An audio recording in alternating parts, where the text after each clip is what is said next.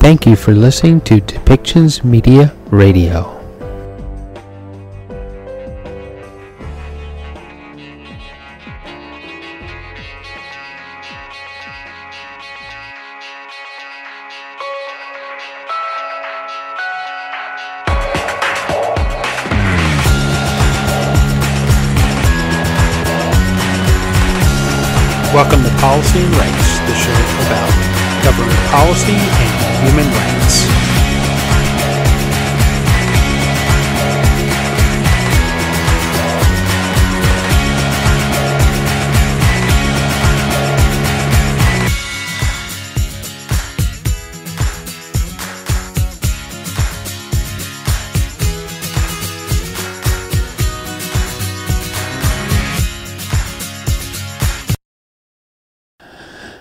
Welcome back to Policy and Rights here on Depictions Media Radio. I'm your host, Michael Clogs.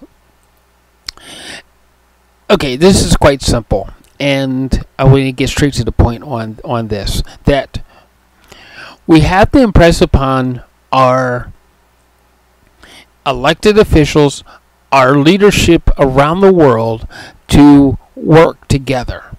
We need to do something that is going to bring war to an end on in our society. We got to find ways to to work together. We got to find ways to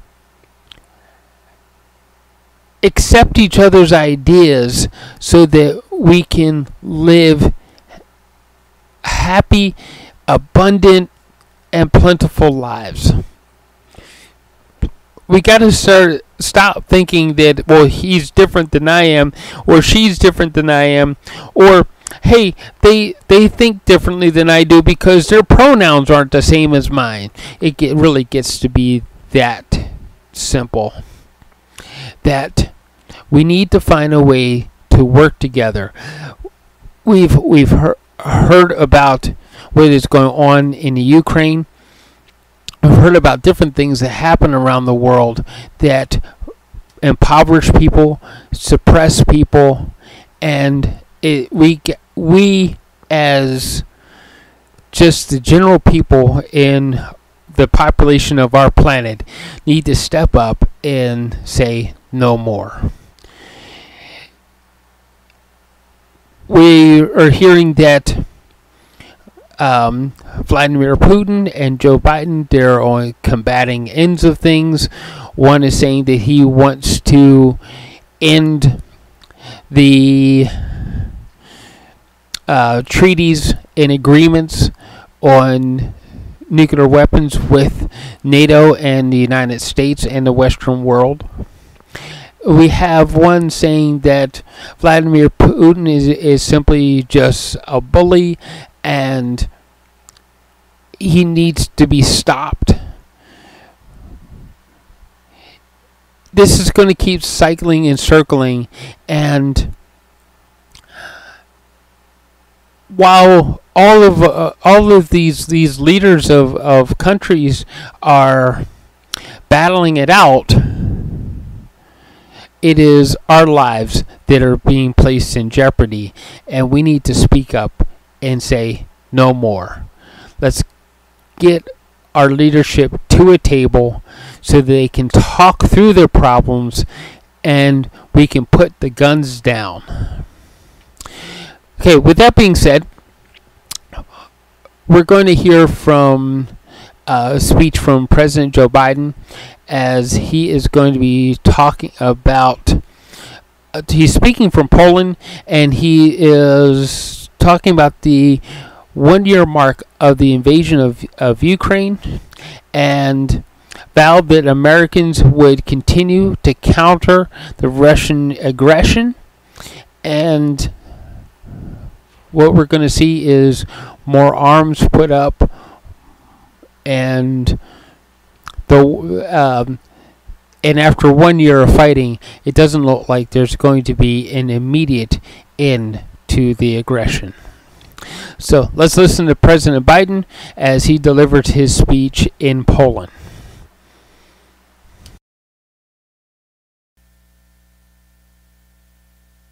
Hello, Poland!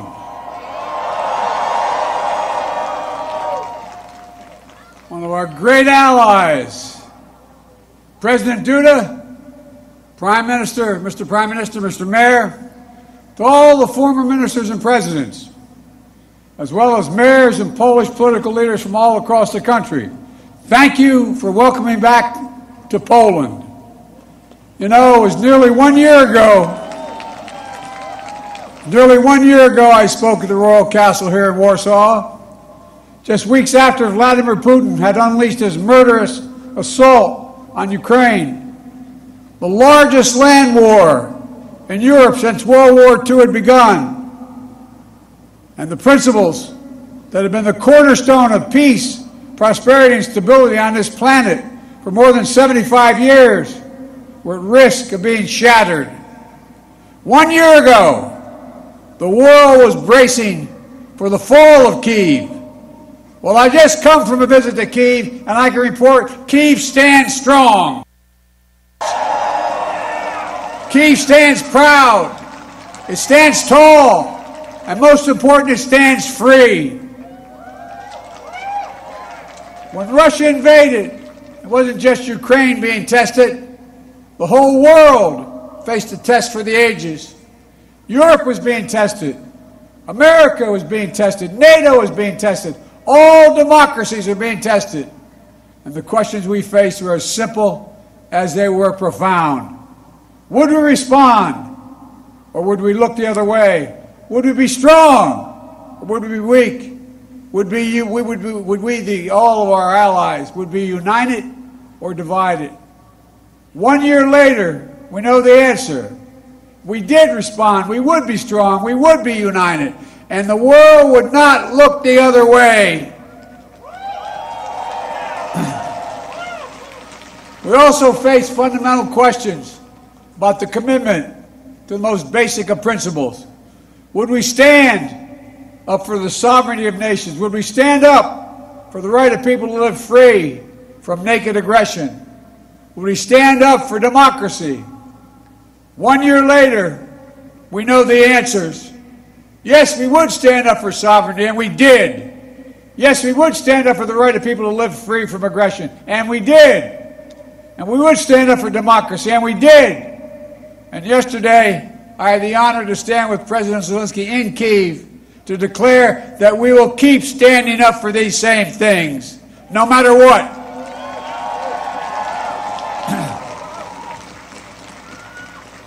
when President Putin ordered his tanks to roll into Ukraine, he thought we would roll over. He was wrong. The, Ukrainian people are too brave. America, Europe, a coalition of nations from the Atlantic to the Pacific, we were too unified. Democracy was too strong. Instead of an easy victory he perceived and predicted, Putin left with burnout tanks and Russia's forces in, delay, in, dis, in disarray. He thought he'd get the Finlandization of NATO. Instead, he got the NATOization of Finland and Sweden. He thought NATO would fracture and divide. Instead, NATO is more united and more unified than ever, than ever before. He thought he could weaponize energy to crack your resolve, Europe's resolve. Instead, we're working together to end Europe's dependence on Russian fossil fuels. He thought autocrats like himself were tough and leaders of democracy were soft. And then he met the iron will of America and the nations everywhere that refused to accept the world governed by fear and force. He found himself at war with a nation led by a man whose courage would be forged in fire and steel, President Zelensky. President Putin. President Putin is confronted with something today that he didn't think was possible a year ago. The democracies of the world have grown stronger, not weaker. But the autocrats of the world have grown weaker, not stronger, because in the moments of great upheaval and uncertainty, that knowing what you stand for is most important. And knowing who stands with you makes all the difference. The people of Poland know that. You know that. In fact, you know, you know it better than anyone here in Poland. Because that's what solidarity means. Through partition and oppression when the beautiful city was destroyed after the Warsaw Uprising. During decades under the iron fist of communist rule, Poland endured because you stood together. That's how brave leaders of the opposition and the people of Belarus continue to fight for their democracy. That's how the resolve of Moldovan people, the resolve of the people of Moldova to live in freedom, when gained them independence and put them on the path to EU membership. President Sandu is here today. I'm not sure she is, but I'm proud to stand with you and the freedom loving people of Moldova. Give her a round of applause. One year, in, one year into this war, Putin no longer doubts the strength of our coalition, but he still doubts our conviction. He doubts our staying power. He doubts our continued support for Ukraine. He doubts whether NATO can remain unified. But there should be no doubt. Our support for Ukraine will not waver. NATO will not be divided, and we will not tire.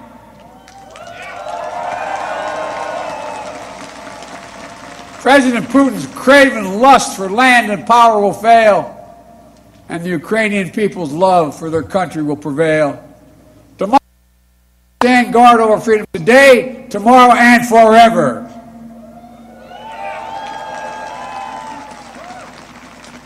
So that's what that's what's at stake here. Freedom. That's the message I carried to Kiev yesterday, directly to the people of Ukraine. When President Zelensky said he came to the United States in December, quote, he said, this struggle will define the world and what our children and grandchildren, how they live, and then their children and grandchildren. He wasn't only speaking about the children and grandchildren of Ukraine, he was speaking about all of our children and grandchildren, yours and mine. We're seeing again today what the people of Poland and the people across Europe saw for decades. Appetites of the autocrat cannot be appeased, they must be opposed. Autocrats only understand one word no, no, no.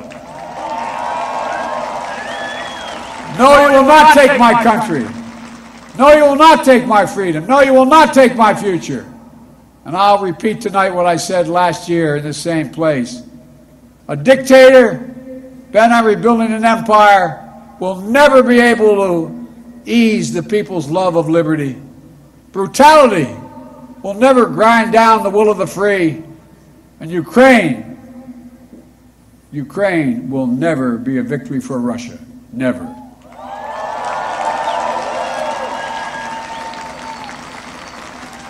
For free people refuse to live in a world of hopelessness and darkness. You know, this has been an extraordinary year in every sense. Extraordinary brutality from Russian forces and mercenaries. They've committed depravities, crimes against humanity, without shame or compunction. They've targeted civilians with death and destruction, used rape as a weapon of war, stolen Ukrainian children an attempt to, in an attempt to steal Ukraine's future. Bomb train stations, maternity hospitals, schools, and orphanages. No one, no one can turn away their eyes from the atrocities Russia is committing against the Ukrainian people. It's abhorrent. It's abhorrent.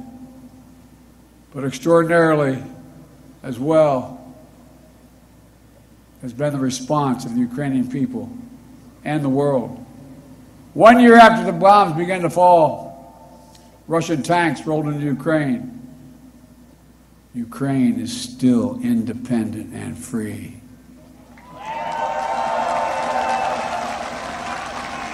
From Kherson to Kharkiv, Ukrainian fighters have reclaimed their land. More than 50% of the territory Russia held last year. The blue and the yellow flag of Ukraine proudly waves once again. President Zelensky still leads a democratically elected government that represents the will of the Ukrainian people. And the world has already voted multiple times, including the United Nations General Assembly, to condemn Russia's aggression and supported just peace. Each time in the UN, that vote has been overwhelming. In October, 143 nations, the United Nations, condemned Russia's illegal annexation. Only four, four in the entire UN voted with Russia. Four. So tonight, I speak once more to the people of Russia. The United States and the nations of Europe do not seek to control or destroy Russia. The West was not plotting to attack Russia, as Putin said today. And millions of Russian citizens who only want to live in peace with their neighbors are not the enemy. This war is never a necessity, it's a tragedy. President Putin chose this war. Every day the war continues is his choice. He could end the war with a word. It's simple. If Russia stopped invading Ukraine, it would end the war. If Ukraine stopped defending itself against Russia, it would be the end of Ukraine.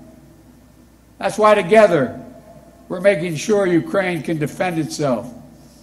The United States has assembled a worldwide coalition of more than 50 nations to get critical weapons and supplies to the brave Ukrainian fighters on the front lines, air defense systems, artillery, ammunition, tanks, armored vehicles. The European Union and its member states have stepped up with unprecedented commitment to Ukraine, not just in security assistance, but economic and humanitarian refugee assistance and so much more. To all of you here tonight, take a moment, and I'm serious when I say this.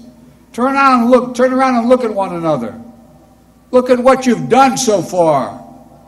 Poland is hosting more than 1.5 million refugees from this war. God bless you.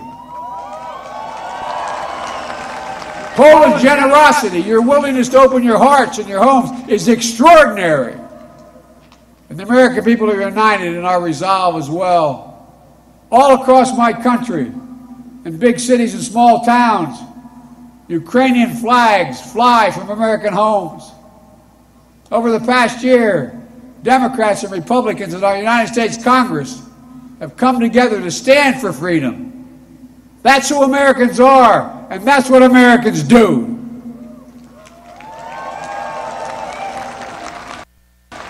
The world is also coming together to address the global fallout from President Putin's war. Putin tried to starve the world, blocking the ports in the Black Sea to stop Ukraine from exporting its grain, exacerbating the global food crisis that hit developing nations in Africa especially hard. Instead, the United States and the G7 and partners around the world answered the call with historic commitments to address the crisis and to bolster global food supplies. And this week, my wife, Jill Biden, is traveling to Africa to help bring attention to this critical issue. Our commitment is to the people of Ukraine and the future of Ukraine. A Ukraine that's free, sovereign, and democratic.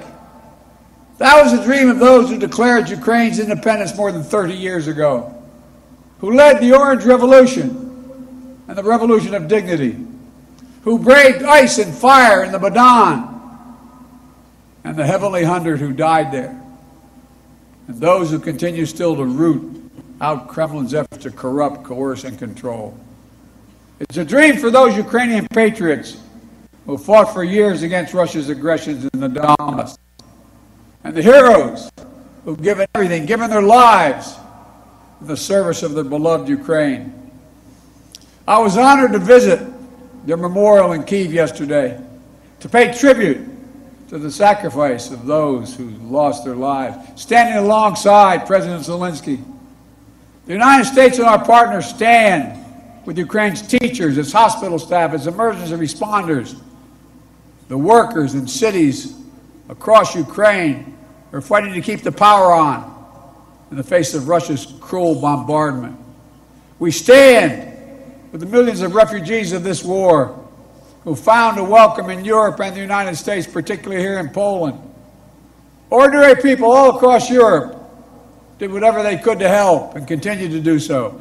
Polish businesses, civil society, cultural leaders, including the First Lady of Poland, who is here tonight, have led with the heart and determination, showcasing all that's good about the human spirit. Madam First Lady, we love you. Thank you all.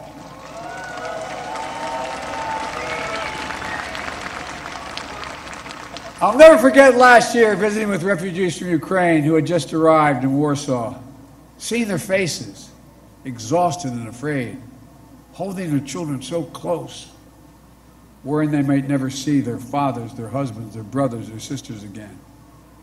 In that darkest moment of their lives, you, the people of Poland, offered them safety and light.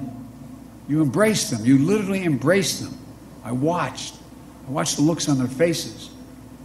Meanwhile, together we made sure that Russia is paying the price for its abuses. We continue to maintain the largest sanction regime ever imposed in any country in history. And we're going to announce more sanctions this week together with our partners. We'll hold accountable those who are responsible for this war, and we'll seek justice for the war crimes and crimes against humanity continuing to be committed by the Russians.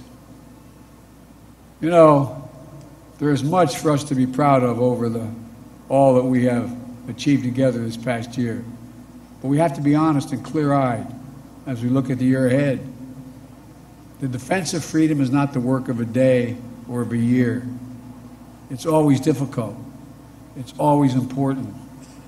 As Ukraine continues to defend itself against the Russian onslaught and launch counteroffensive of its own, there will continue to be hard and very bitter days, victories and tragedies.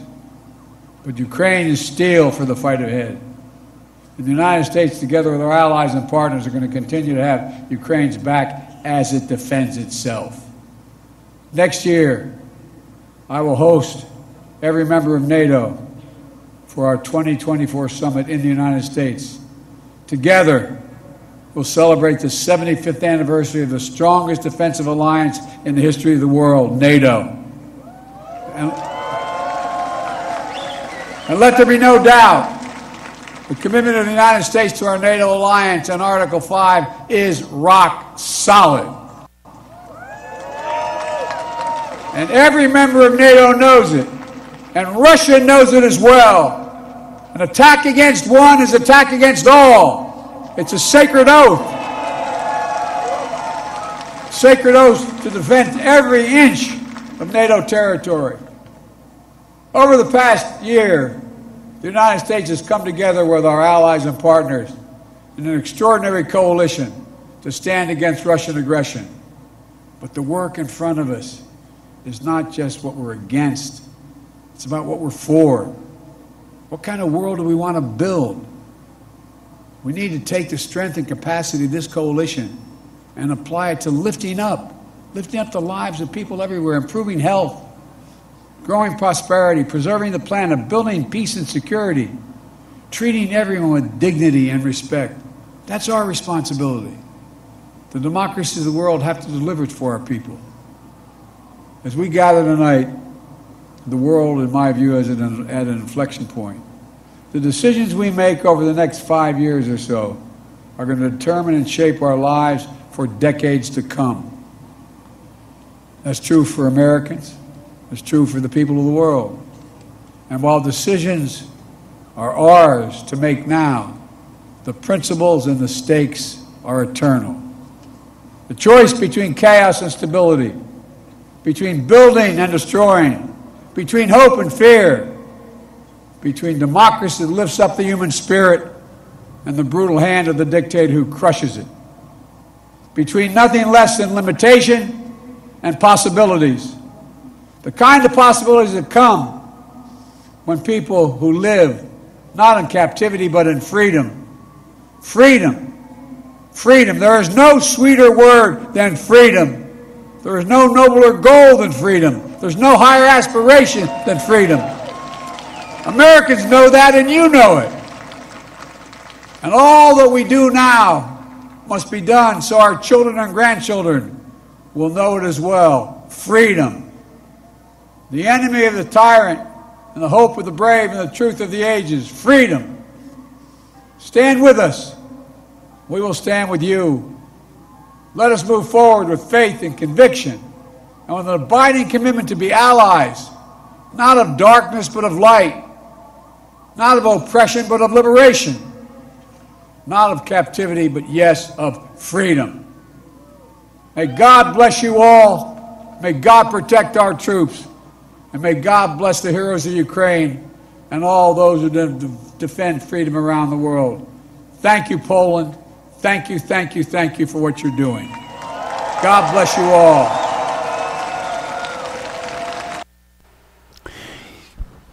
So that was uh, Joe Biden as he spoke um, in Warsaw, Poland. In- inspiring speech. Um, you know, trying to get people to realize their freedom.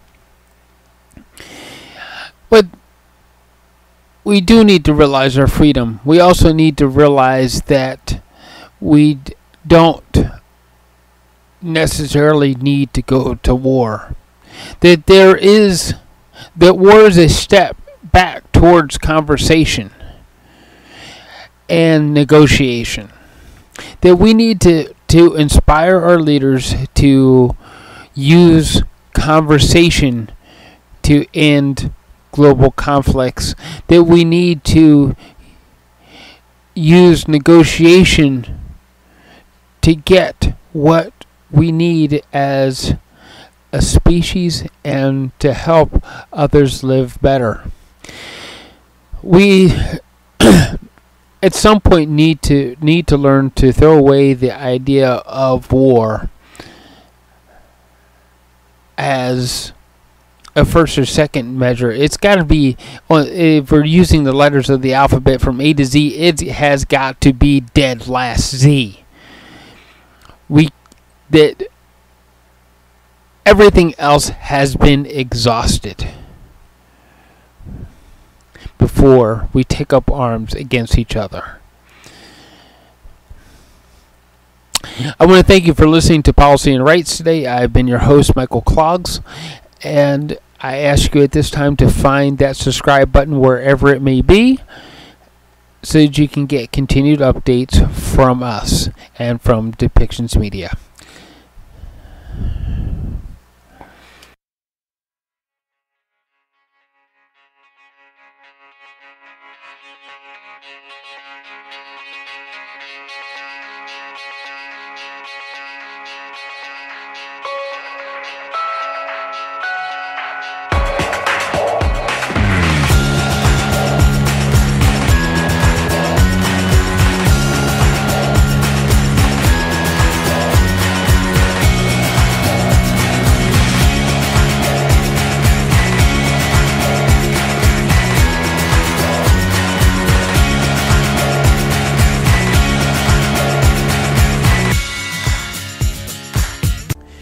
Show has been produced by Depictions Media. Please contact us at depictions.media for more information.